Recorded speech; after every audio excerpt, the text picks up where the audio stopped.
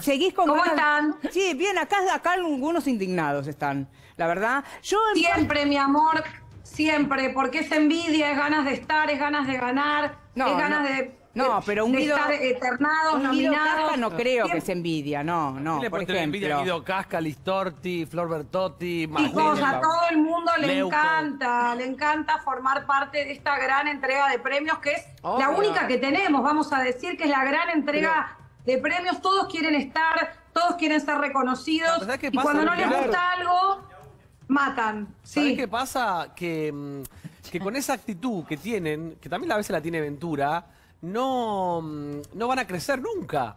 Porque siempre, eh, siempre dicen, ay, todos quieren estar, todos hablan, todos genera. Sí, pero cuando las cosas se pueden hacer bien, está bueno poder hacerlas bien. Mirá lo equivocado que estás, que el. Martín Fierro no para de crecer y cada vez hay más Martín Fierro, el latino, el internacional. explícame el error de el- poner el a de una cine. persona, explícame el error de poner a una persona en un rubro que no participó el año pasado de ese rubro, ni el año pasado ni el antes Eso pasado. es una equivocación, eso es una equivocación como puede ocurrir en cualquier rango de la vida. Se equivocaron, yo creo que estaría Janina en, eh, digamos, en el ayuda a memoria de Aptra. Me dijeron que no eh, estaba en la ayuda a memoria. Y entonces no sé quién la votó. Pero no nadie mi se da caso, digo, yo- cuenta. Pero ahí está Pili. eh, Bueno, hola.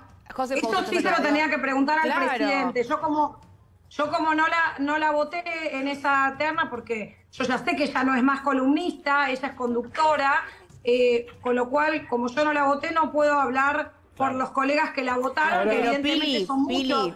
Lo que yo digo es, nadie lo puede, porque Luis solo no puede, nadie se da cuenta de, esa- de esos detalles para que no pasen estas cosas que después estemos criticando, ¿entendés?